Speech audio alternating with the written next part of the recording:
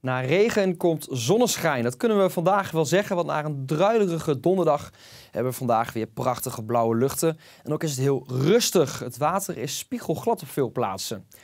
Kortom, wat we vandaag te maken hebben met een, uh, een uitloper van een hoge drukgebied.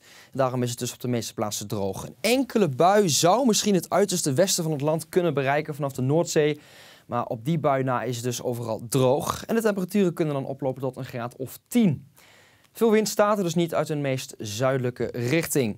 De komende dagen blijft het eigenlijk heel vriendelijk weer met ook in het weekend een mix van wolken en zon. Al krijgen we wel iets meer bewolking en de kans op een bui is iets groter. Zeker in het noorden van het land. En omdat buien heel traag trekken, kan het op plekken waar het eenmaal regent ook wat langer doorregenen. Maar op veel plaatsen blijft het, het hele weekend gewoon droog. Met name in het zuiden bij temperaturen van een graad of 9 overdag. In de nachten kan het kwik dalen tot rond het vriespunt. En bij brede opklaringen kan het zelfs min 2 of min 3 graden worden. Ook als s'nachts mist ontstaan. Is het bewolkt, dan hebben we hogere minima. Op maandag neemt de bewolking toe op nadering van een storing. In het oosten schijnt nog even de zon. Er wordt het slechts 7 graden bij een aantrekkende wind. In de avond volgt wat regen.